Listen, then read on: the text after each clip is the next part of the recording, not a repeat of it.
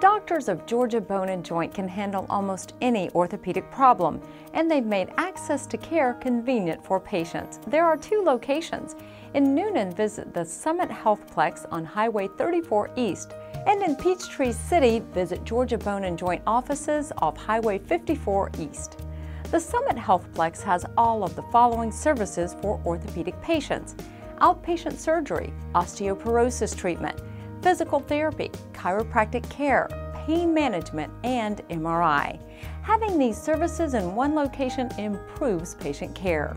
Where you may be seeing different specialists in different areas, the communication may not be there and things can get missed. I don't feel like that happens here because of the close communications amongst um, each of the specialties. We all are reading off the same sheet of music, so it tends to make the care of the patient, I think, easier and much more efficient and probably better. Dr. Jack Powell III founded Georgia Bone and Joint. He wanted to give patients quality care under one roof. On-site physical therapy was his first priority. With the patient, the doctor, and the physical therapist there, we can decide what we need to do and I can point out exactly where I want to go with that. Doctors' offices are on the second floor of the Summit Healthplex. This facility has a large waiting room, patient exam rooms, a spine center, a minor surgery center, and a casting area. In addition, there's a complete x-ray facility with a separate waiting room. We actually have technicians that take x-rays the way we want them done and the quality, I'm seeing x-rays from other areas and the x-ray quality is just not there. But this way we can have the quality we want for reading the x-ray and that to me is been a big difference. Perhaps the most convenient service for patients is the Summit Surgery Center, an outpatient facility located downstairs where you'll find two state-of-the-art operating rooms. We have OR personnel that's trained, that are trained strictly to do orthopedics.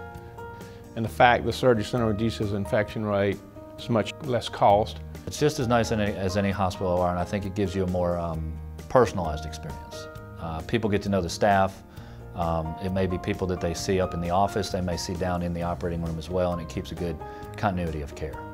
The Summit Surgery Center, the outpatient surgery center of Georgia Bone and Joint, is typically used for surgeries, but for surgeries that require hospitalization or if a patient's medical condition necessitates, our doctors have privileges at both Piedmont Fayette Hospital and at Piedmont Newnan Hospital.